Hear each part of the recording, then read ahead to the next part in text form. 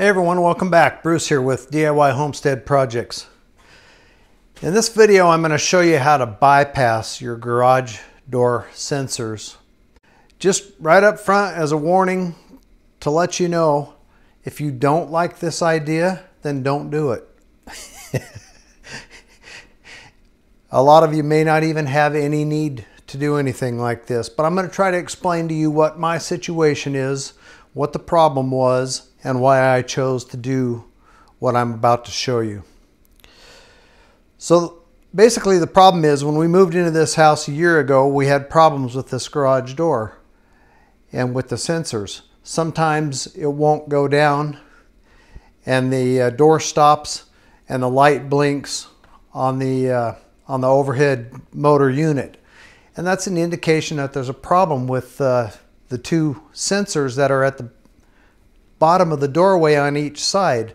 So that creates a, a beam across there and then if the door is in transit coming down, something walks in, crawls in, rolls in in the way of the door, it'll trip that beam and that'll tell the uh, opener to reverse the direction and go back up. There can be several problems if you're having that issue. You might need new sensors. The sensors might just need an adjustment or it could be, you know, other problems within the unit itself. It, it, could be several things, but in my case, my sensors are in, in perfect operating order. They were in adjustment. I went through several times and adjusted them because I thought that's what the problem was. But let me uh, change the view of the camera and I'll show you down here where my sensor was mounted and uh, show you what the problem was with my situation. So you can see this bracket is where my sensors were mounted, one on the each side of the door, oh, 10 or 12 inches from the floor. And they have a wire that goes into the wall right behind the sensor and then that's wired in and it goes back up to the uh, unit. So what happened is with these brackets right on the rail, like a lot of them are mounted, my house door faces south.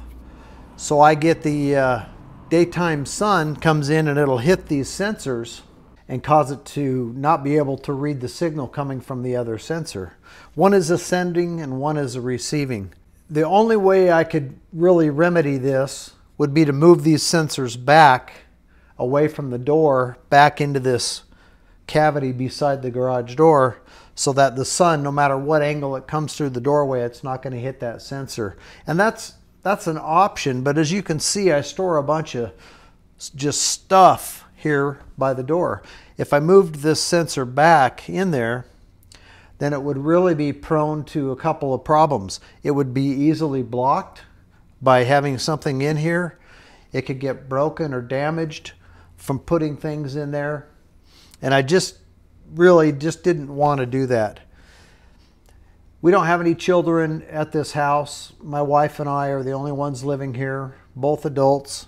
We don't have kids coming and going from this place, so I'm not worried about not having these sensors, and that's why I'm going to bypass them. That may not be your situation, and you may not agree with that, but that's the situation we're in. Now the door does still have a, a safety feature, which is the strength in which it closes. If there is something in the way and it comes down and hits it, once it builds up enough resistance, the door will reverse. So that feature is still in effect. It's just I don't have a beam across here to tell the door not to go down. So let me uh, set up on the ladder and I'll go up there and show you on the machine how I set this up. Before I climb up on the ladder, I just wanted to show you this. This is uh, where the wire comes out of the wall right by the mount for the sensor. And all I've done is I've cut that wire off. I left five inches of wire on the sensor and then I have all of that wire there. So if and when the time comes that I'm going to reinstall them in this position, all I have to do is connect those two wires and uh, it'll be set back up the way it was before. All right, now we're looking at the back of my garage door opener. And mine is a LiftMaster made by Chamberlain. half horsepower. This little section right here is where the garage openers and sensors are located. The left side is it's two wires, a red and a white. The red is in the red and the white is in the white. That is for my opening button that's on the wall inside the garage. The other two, gray or black and white, are for the sensors. So there's actually two wires come out of the ceiling and go to the uh, right hand side, the gray and the white, and those go to each one of the sensors. So there's four wires, two for each sensor. I still have them connected even though I don't have sensors down there. I just left the wires there because they're inside the walls. So all I did was I took two wires and put one in each side. One is marked with some type of black, black stripe, and the other one is solid white. So I put the solid white in the white outlet, and then the one with the black stripe on it is in the other side with the black. Just made a pigtail of two wires coming down. And then here is a joint coming from one of the sensors is connected to that and then the other sensor is connected to this one. Here are my sensors. I've got a solid green light and an amber light, which is exactly how they should be, whether they're mounted like this or they're mounted on the wall. And I just put the eyes together and taped them with electrical tape. So they're always sensing each other with no obstructions in between. That will allow the opener to work without actually having the sensors mounted where they're intended to be mounted. And then I just took this, the sensors, and I just tucked them up above. So they just kind of hang out up there. Now my garage door works perfectly. I just don't have the uh, safety of the uh, sensor beam to prevent it if something walks through there or rolls through there or is in the way of the door at the bottom. And all I have to do is take these two wires out, undo these connections. I just have electrical tape on there to keep those wires from shorting out. Untape the sensors and then mount them back down where they used to go and I'll be back to, uh, to the normal operation if that's what I need to do. Say for instance if I move or something. So I did up a little quick sketch here with a pencil for those of you who are interested and maybe you have questions about the wiring. Let me explain it to you and then you can pause it and look at it again if you need to. So I've got these four blocks up here, four locations for wires. This block is red, this block is white, this block is white, and this block is gray or black. The red and the white, one wire out of each, goes through the wall to my door button that's mounted on the wall, inside wall of the garage. So forget about those, you don't need to worry about them.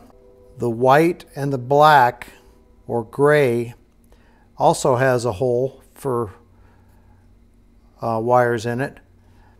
Now these are where my wires are connected. There was two white wires and two white wires with black stripes. The ones with the black stripe goes in the black spot or the gray. The solid whites go into the solid white. Now you can either pull those wires out and put these two pigtails in or I just twist them together and stuck them back in there. Either way is fine. But you need one solid white and one white with a, some type of mark on it, a black line or black striping or something one of each coming out.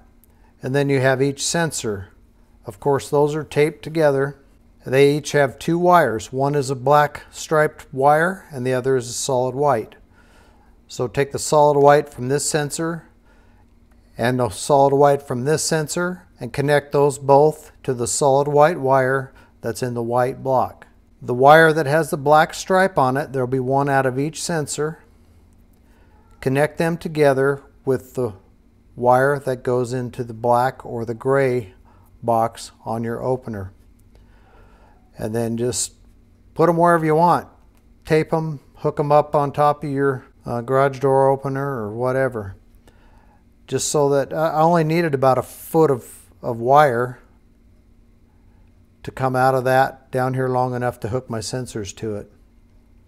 and your door button will work properly and your door will operate. You just won't have, keep in mind, remember, potential safety concern, you're not going to have any sensors for something that actually gets in the pathway of the door as it comes down. Anyway, I wanted to show you guys that. Maybe that'll help somebody out there. And like I said, if, if you don't, if you're not comfortable with that, uh, you, you want those sensors, you don't want to operate your door without the sensors because you have kids or whatever the situation, pets or something, uh, whatever your situation is, then certainly don't, don't do this modification. But for some people, it'll be a good fix if they're in the situation I am with the, with the sunlight hitting those beams. Now you could take toilet paper rolls. I've seen all kinds of videos showing how to keep the build a little uh, hood or a shield over the sensor so it can still see the other sensor, but the sun won't block the sensor, won't hit the uh, hit the lens of it. Lot, lots of different ways to go about it. This is just the way I chose to do it. Hope you guys enjoyed the video. Hope it helps somebody out there. And if you do choose to do it, just remember it's your responsibility. I'm not going to take responsibility for your actions. You guys can make those decisions for yourself. Hope you have a great day and we'll see you on the next video.